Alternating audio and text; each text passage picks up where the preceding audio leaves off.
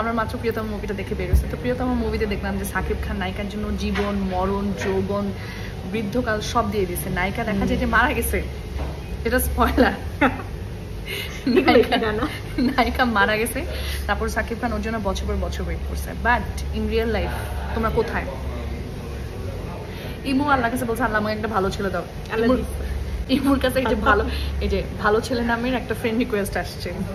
এইভাবে আমাদের দোয়া কবুল হয়। তোমরা কোথায়?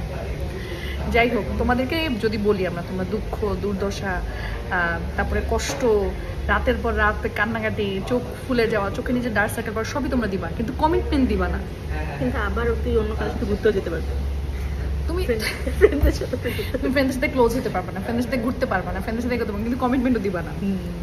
যাই হোক জীবনে কিছু পাওয়া না পাওয়া তোমাদেরকে বলতে চাই দারাজে তুমি গেলে তোমার ডেইলি নেসেসিটি যে জিনিসগুলো আছে সেগুলো তুমি চারশো নিরানব্বই টাকার কমে পাচ্ছ এবং সেই সাথে ফ্রি শিপিং সো যা যা তোমার প্রয়োজনীয় জিনিস সব কিছু তুমি দারাজে গিয়ে কিনতে পারো।